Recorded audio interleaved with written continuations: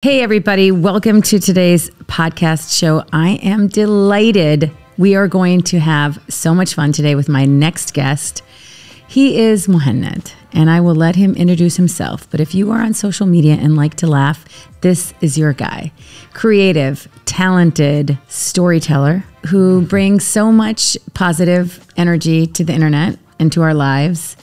He understands comedic timing, cultural relevance digital platforms. And I'm so excited to have you on the show today.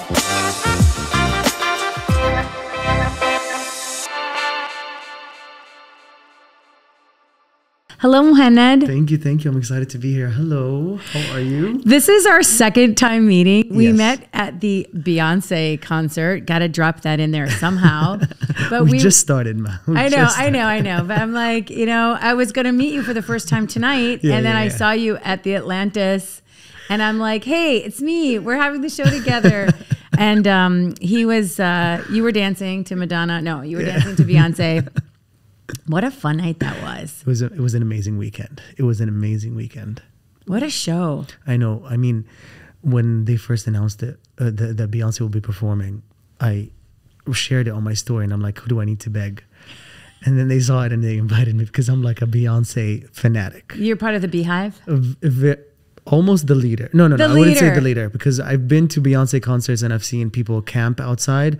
I'm like, okay, there's there's people that definitely deserve the leader leader position more than me. Well, she put on an epic performance. She did. I loved how she weaved in Arabic culture, like It from her outfits, Umm Kalsoum, Fairuz, the Mayyas from Lebanon. It was so even with her vocals, like she did some Arabic riffs and stuff. It was it was amazing. It- when when even before like when she, she uh, this is gonna turn into a Beyonce Ish episode, Episode. coming to you live.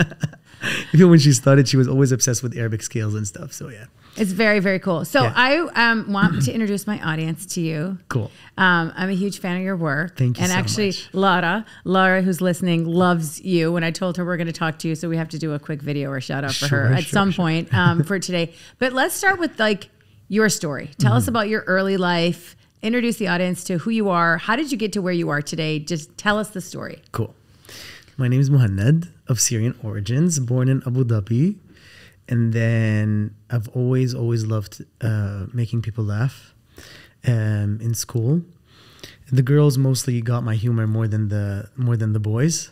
So even though the classroom was like separated into two sections, boys and girls, I always my my best friends were girls, so I like cheated and sat next to them and and uh, just always uh, made them laugh. They made me laugh as well. But yeah, i've always loved making people laugh and dancing just performing arts in general. And so when i got to university i, I did my bachelor's in uh, american university of sharjah. And they had a they had theater like as an Classes. as an elective Yeah. and, and now it turned into a major but it was an elective back then. And it was like my first introduction to like any sort of stage performing and so i started first with choir that was the first thing because i love to sing i love to dance and then we, we got into musical theater which was just so so so amazing and even after my free electives were done i continued to just vo- i volunteer as tribute you know Yeah, I'll be on stage. yeah, I don't care if it takes six more hours of my day. It was like even we used to spend ten hours. It was just so so enjoyable. Um, and then after that was done, I went to London to do my masters. But I actually just wanted to go to London. Yeah. Um, and so when I was doing my masters there, that's when Vine uh, started back in the day. Yeah. And uh, back back when I started, Instagram did not have videos yet. It was YouTube and Vine Yeah. and I YouTube was was my main source of entertainment, and then Vine came, which was Incredible. amazing, and it and it had um, uh, some editing tools that made it very easy for you to edit and, and stitch like different scenes together. Together. Yeah, it was great. Yeah, and so and also creatively, it was a lovely challenge to tell an entire story in just six seconds or even less. So I started on Vine, and that was the beginning of my social media career. And then I, it started. I, I started in English. It was doing well, but then I did an, a video in Arabic, and the first video I did in Arabic Went viral. Went It was massive. Yeah, and then I decided to switch to Instagram because most Arabs were not were not on Vine, On and, if- Vine. and I'm gonna do Arabic content. Um, so I switched to Instagram, and then the first video I did on Instagram went viral in Egypt. And uh, it was easier, a, bit easier back in the day because the term influencer didn't even exist when I started. 100%. And so it picked up, and I just never stopped since. It was it's ten years now, 10 years. a decade. I so many of my friends from Egypt forward me your videos. Like they're like, you have to see the the ones that you you dub Oprah's voice, like Oprah and Gail having a conversation, or I don't know what you make fun of everything in the most delightful and charming way, Thank you. where you just in stitches laughing over it. But really, what you're very good at is telling stories. And and how do you use comedy to tell stories? Like how do what's your creative process like? You know, I get asked like, how do you come up with with ideas? Yeah, how do you come up with ideas? and it's the most boring answer. As I'm falling asleep, it comes to me. I have to wake myself up, Really? write, write it down on my phone, and then film it the next day. But also a lot of ideas back in the day when I first started, when it was mostly character based comedy. Um, I get inspired by things that I've seen when I used to visit Syria, for example, for my Syrian character. Things when I, um, for my Emirati character, things that I used to see from Emirati girls at Starbucks in my university.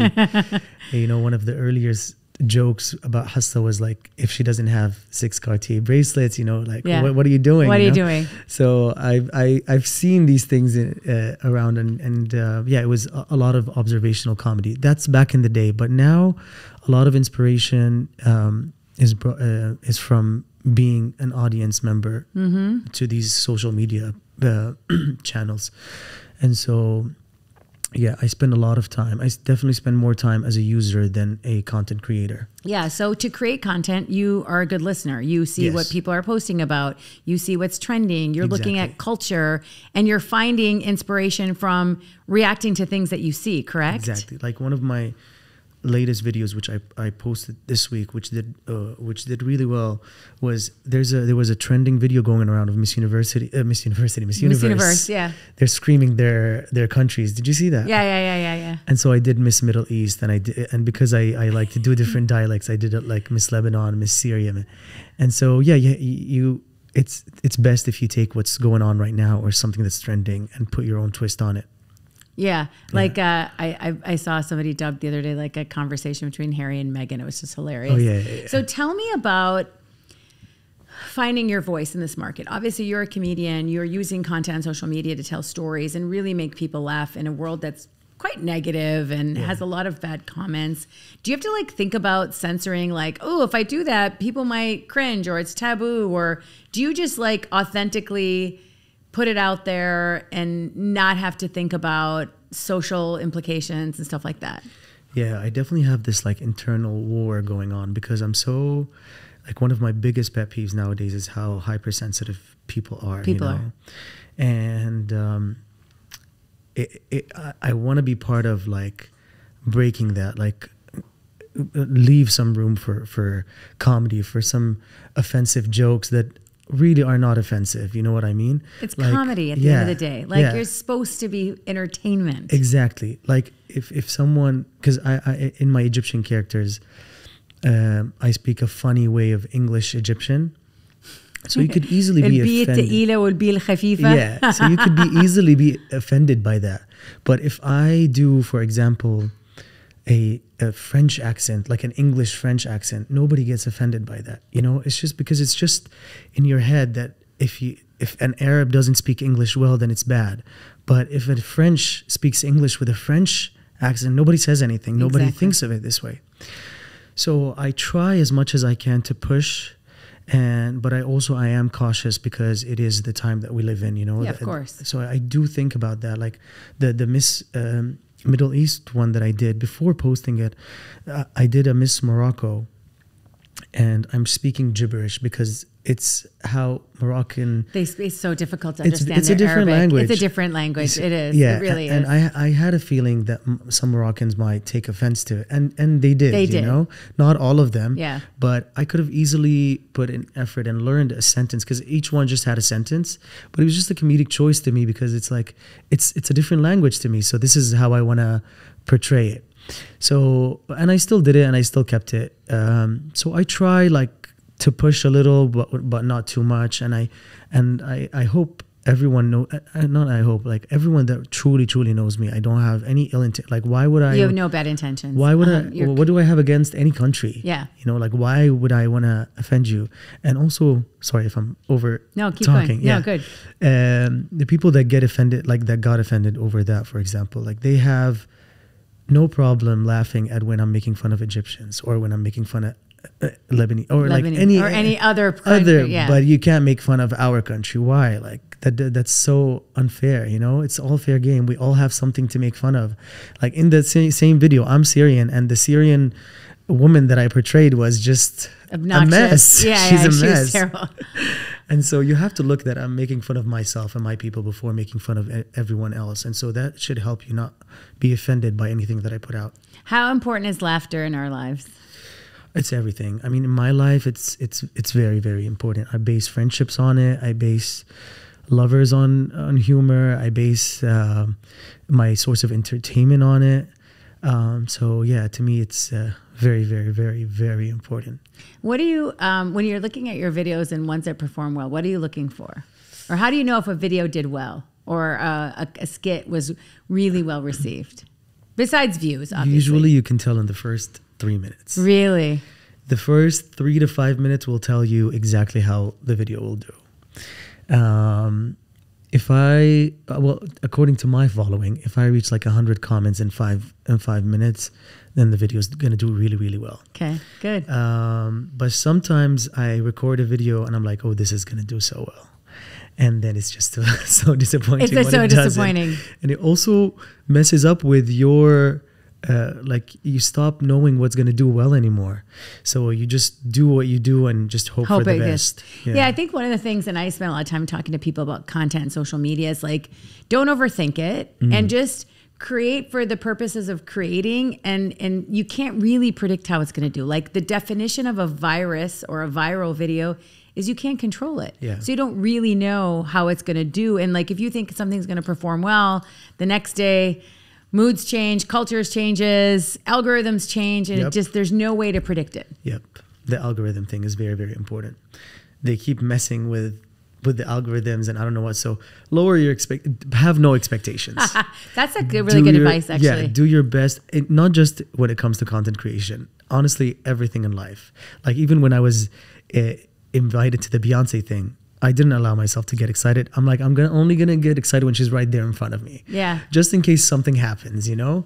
Um, so yeah, I would say have very low expectations in life in everything. and that really helps you succeed. It's a surviving mechanism. what is uh, your favorite? Like, where did your inspiration come from? Like, favorite TV show or favorite comedian? Like, how who inspires you? Oh my god. Um, favorite TV show? I would say like a comedy TV show.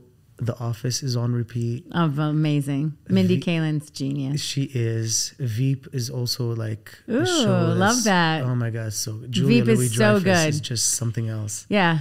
Even Unbreakable Kimmy Schmidt, I, I love I love that show. Oh, that's such a good show. That's not on anymore. Yeah, unfortunately, I thought it was genius, but it's so so good. Did you watch Never Have I Ever? No, what is that? That's another Mindy Kaling. You have to watch it. Oh, I've heard it's good. of it. Okay, it's okay, really good. She's okay. anything she does, I consume. I know, and Like- she looks great. I, saw- I saw her recently at an interview. She looks. She She's looks amazing. amazing. Yeah, she's amazing. She's Yeah. like, I want to meet her someday. Like the Yeah, only celebrity that I want to meet in life is Mindy Kaling. Anyone knows Mindy Kaling, connect me to her. I just, it's the one person. And if anyone knows Beyonce, please let me know. You you did just uh, see her on stage. It wasn't enough. You know, I feel like it's it's better to watch Beyonce on TV than than live because live she's like right there, but you can't touch her or like talk to her or something. You can't be dancing around in your in your living room. yeah, but I'm I'm just I'm, I'm greedy. I would love to meet her. I wanted to ask you about um, process, the process, the comedic process. Hmm. If someone tells you, you know, I want to do what you do, Mohamed, give me some advice. What's the process I should take? What's the path I should take? What would you tell them? Um, you know, when when I do my content, like when I started, for example, I it, I didn't really have like okay one two. I did what came to my came to head, you know. But I would say one of the uh, which I already mentioned is be an audience member. That's one of the most important important things before starting, during, like all And the time. Yeah, spend as much time as you can. Like sometimes I I. I, I don't feel like going on social media, but I'm like, go. You'll never know what can inspire you, what can, and it it does happen all the time. Let's talk a little bit about being an audience member. What does that mean? It consume content or Watch, watch? yeah, just watch, scroll, watch, see what's see what people are into these days. See what I mean. I'm I'm talking especially if you want to achieve longevity in this career. Yep. You're gonna have to be an audience member for a long, long time. And and what happens when you think about rejection, people not liking your videos, negative comments? How are you handling that? you know any, anything negative in my life i like use logic to beat it you know which is like uh, for for example uh, negative comments or people that don't like my humor. Like i'm no better than anyone else. Like every single person has that. So why would i why would i be different? Like to me for example beyonce again she's perfect to me. You know she's beautiful she's talented she's sweet she's very hardworking. She gets so much hate even from her own people. Like she gets so much hate. So Yep. so to me like when someone that to you is you idolize gets so much hate. So then it makes sense that you'll you'll get hate as well. Everybody gets hate. So uh, it doesn't it doesn't get to me. Well of course sometimes it stings a little but it, i think it mostly stings because it's like a reminder of the world that we, we live in you know that there's people out there who have such courage when they're hiding behind their phones and stuff. Um, so that's the that's the part that stings but it doesn't do anything to my self-esteem or or to to like motivate me any less or anything like that Confidence. Where do you get your confidence from? Um, I'm I'm really close to my family, so I have a really good foundation, and also, ever since I can remember, I've always have I've always held so many debates in my head, which is what I said like about every negative thought. Um, I always believed that happiness is a choice, um, and so every time I, I had a negative thought, I just I just I just fought it. I fought it with debates, and I'm like, no, this way, this way, and it was like a two way conversation between me, myself, and and I until until I found that logical spot that made me feel comfortable and and uh, and um safe. Speaking of safety, what is something that you want to do that is out of your safety comfort zone? Oh my god, I'm so used to like my bubble of social media, which is filming at home alone. You do? You film everything at home? I film I film Uh, uh. everything at home alone, except like sometimes I've had like some collaborations with like for example with Amazon where we had to shoot in their factory and stuff. Yep. But um, in general, I shoot uh, everything alone. I do miss the stage, so like something like a one man show or a stand up show would be amazing. Have you done stand up comedy before? I haven't, but I hosted a stand up comedy in, show in Qatar, and uh, um, I, I had to deliver jokes in the beginning and between each uh, comedian, and it was it was it was a quite quite the thrill. Is it scary? Oh, it's quite the thrill. You loved it. It was scary, but like the the the nerves and the adrenaline uh, put words in my mouth that otherwise I wouldn't have been able to come up with. Uh, so it, it really uh, it drives you. It really does. So it was it was exciting. What about acting? Acting, I'm getting into right now. I was just in Beirut. We filmed a pilot for our TV show. I don't know if I'm allowed to say that, but it's not picked up yet. But Yeah. hopefully, uh, uh, they're going to use this pilot to to see who's going to pick it up, and then if it does, I'll be doing a TV show soon. Rapid fire questions. Favorite actor in a global actor? Not necessarily comedy, just like Anybody that you get. Ah. I want to say a cheesy answer, Meryl Streep. Meryl Streep? That's yeah, such a great answer. Why is that cheesy? because she's everyone's favorite. you She's know? amazing. She's amazing. Cate Blanchett as well, someone that I just like get so excited when I know. She's so regal. Every time I see Cate Blanchett on like a red carpet, I'm like, wow. She's always so well put together. I Plus, know. she's an incredible actress. Incredible actress. Uh, comedian you've always wanted to meet. Mindy Kaling is one. Hey, she's mine. Okay, okay. Back someone else. off. All right, all right, all right. A comedian that I would like to meet. Why am I blanking? Steve Martin, I love. Martin Steve- Short. Love, These love, two. These two love, are amazing. love. Yeah, yeah, yeah. Uh, uh, Ooh, Conan O'Brien. Love Conan. O'Brien. Love that guy. So good. Yeah. So good. Yeah, yeah. Did you do you watch do you watch like those American late night TV shows? I, I used to watch a lot more. I feel like they're becoming a little bit dated. Don't you feel? Yeah, yeah. The, the television in general, I think in general is like declining. That's why the internet is so important. Favorite YouTube show or channel? Well, it used to be. There was a show called uh, uh, Gourmet Chef Makes.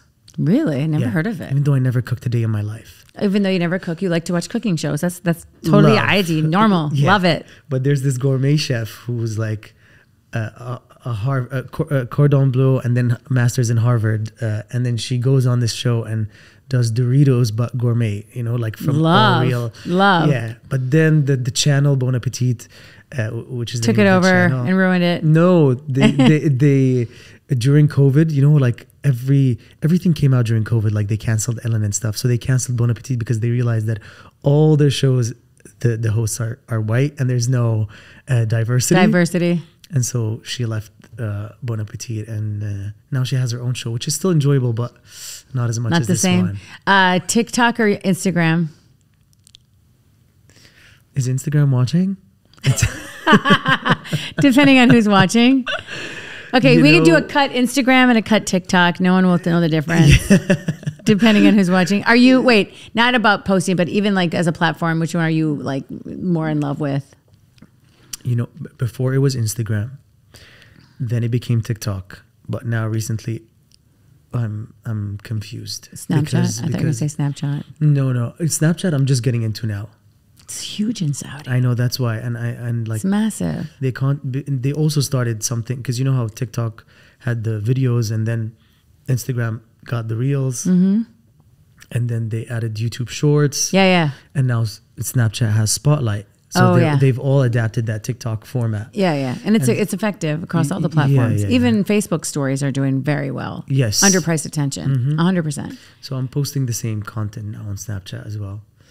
But yeah, I would like for the social media channels t- to take more care of their of their Of their creators, of their Definitely. creators. What would you advise? What's missing? Well, uh, enhance the algorithm, make it in favor of the of the creators. It used to be so much so much easier to gain followers. Uh, not even collaborating with anyone, just just doing your own thing. It was so easy to be to to have visibility in the market. But yeah, it's becoming more and more and more difficult. Are you into any of this Web3, metaverse, NFT, AI, digital No. avatars? No idea. What do you think about it?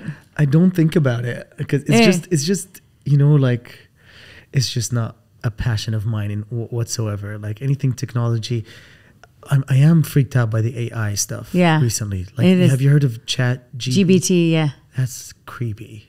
Yeah, Microsoft just bought them or invested in oh, them. Oh, and they're really? Like, yeah, they're going to turn it into like a tool. I saw yesterday that ChatGBT can now pass the bar exam and the oh doctor, Oh like a, you can get like a medical. It can do anything. How are they? Like, how are they going to monitor, monitor that in schools and stuff? Like, how, they better Papers, writing your papers, your theses. They're gonna have to invent like a program. They didn't have the internet back in the day, and now it's like winning a bar exam. Crazy.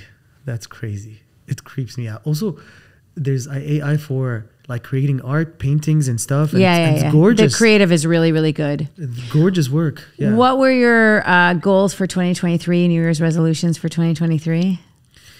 You know, as as I said, uh, I I live life with zero expectations, Good. That's a great policy. and so I try not to plan much. I I try to just do my best and see where it takes me. Um, I've just always been like that, but I hope that the TV show that we filmed picks up and, and does well, just because I've been doing social media for 10 years and it's definitely, I'm, I'm still enjoying it. I'm, I'm still motivated, but it's definitely time to, for me to do something different, just, Different. just for my excitement, my creative excitement. So that I, I, I do a lot of work with people on their personal brands. Mm. So like your brand name is your name, Mohanad. Yeah.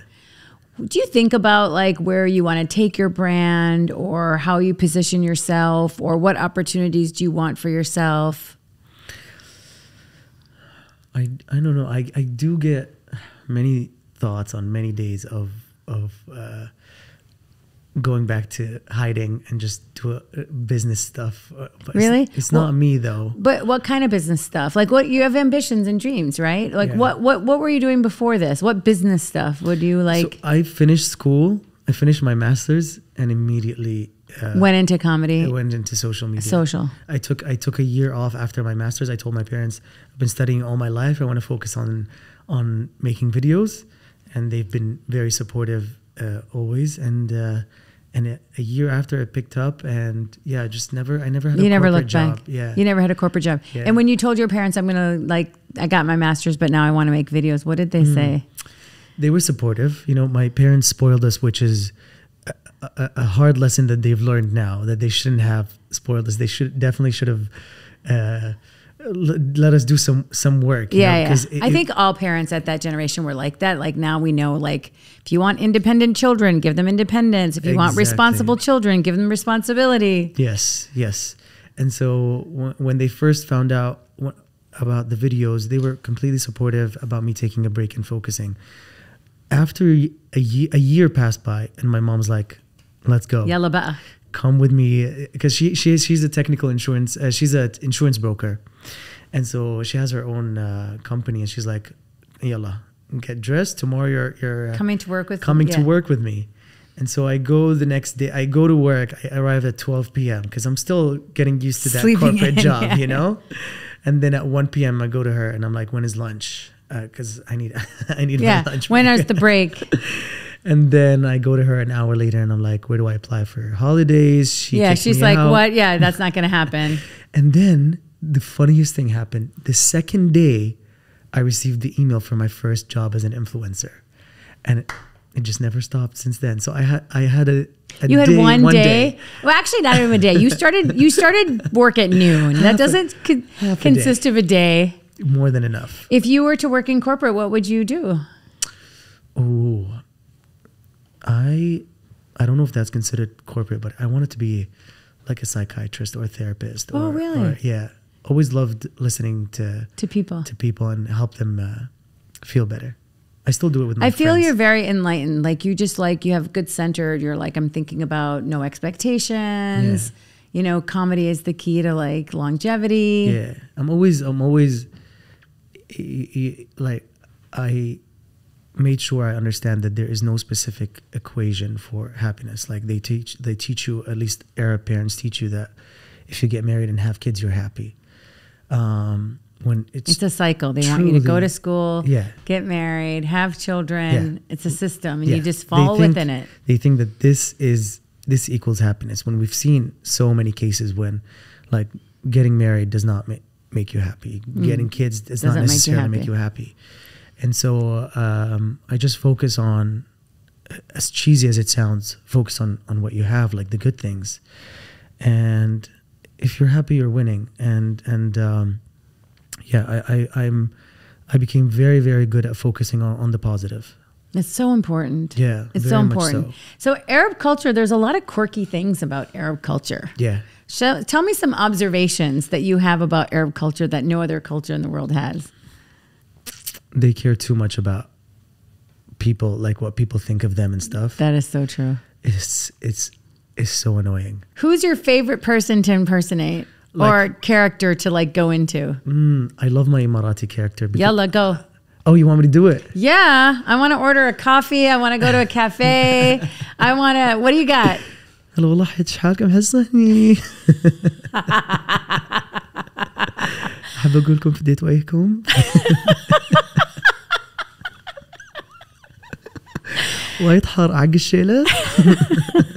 Okay.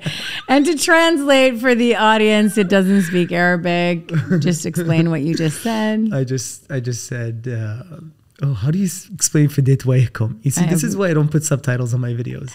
You can't. You can't translate it. Yeah, I get so many people asking me to put subtitles on my videos, and I'm like, it's so difficult because it's like so cultural, the jokes. Um, Very funny. Yeah. Very funny. Thank you. Uh, um, American foreign actor that you could impersonate or go into character about. Mm. I, I don't. I'm not. I'm not very good at impersonating real people. Like I yeah. impersonate you make fun of like, yeah. yeah, I, I can impersonate a dialect and, and, and mannerisms and stuff of original characters from that specific country. You know what I mean? So funny. but yeah, I uh, um, is there anybody? No, I don't know. I I, I I'm not like a what, what impressionist. Yeah, not impressionist, Yeah, but I thought yeah. like I see you going. You you you do dialects on characters, Yeah. and I'm just in stitches laughing so Thank you. hard. Thank you, thank you. Mohamed, Thank you for being on the show today. Of course. I, I, love hearing your story. I continue to be a fan of your work. Thank you. You make people laugh, and that is a gift. Thank you so much. Thank you. Thank you for being here. Of course. My pleasure.